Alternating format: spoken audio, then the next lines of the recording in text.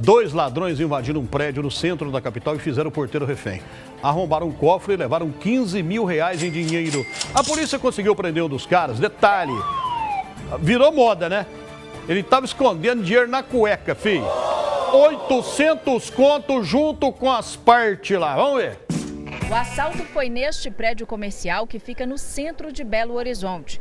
A polícia militar foi acionada por volta de meia-noite pelo porteiro, chegou a ser feito refém pelos assaltantes. A partir do momento que eles empreenderam fuga, o vigilante conseguiu desvencilhar, ligou para o 190, momento que nós deslocamos as viaturas para o local. Os policiais chegaram rápido e conseguiram prender um dos suspeitos de 38 anos próximo ao prédio.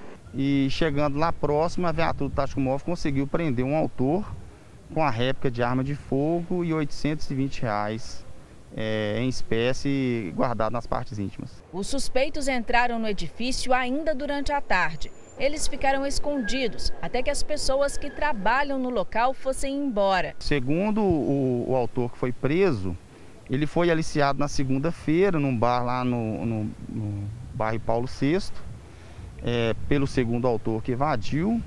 É, e na data anterior eles combinaram. O autor que evadiu falou com ele que já tinha o local exato e, e como entrar e como efetuar é, é, a ação criminosa. Os criminosos renderam a vítima na cozinha. O homem de 60 anos foi amarrado e levado até o décimo andar do prédio. Lá, os suspeitos arrombaram um cofre e levaram 15 mil reais em dinheiro, três talões de cheques e um aparelho eletrônico. O cofre arrombado pertence a uma empresa de comércio eletrônico.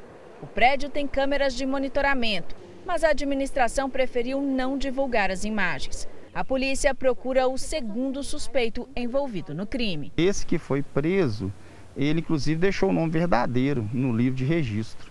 O outro, a, a, a letra está muito ilegível e a identidade não, não consta no nosso banco de dados, entendeu? Tá, o que dificulta nesse caso? O que dificulta nesse caso a identificação dele.